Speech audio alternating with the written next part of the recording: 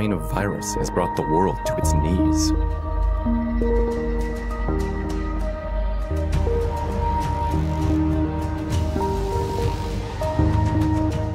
The virus. They're working hard. Looks like by April it miraculously goes away. Hope that's true. Some countries are managing to protect the public, others are failing. We're at war. This is serious. Take it seriously. In a race against this deadly disease, political systems compete to prove their superiority.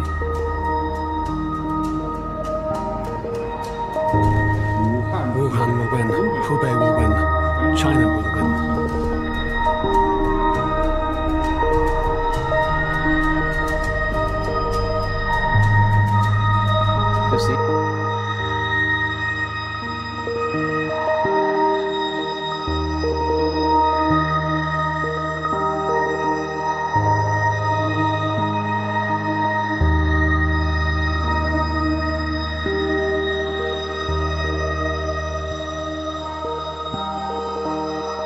Economic crash.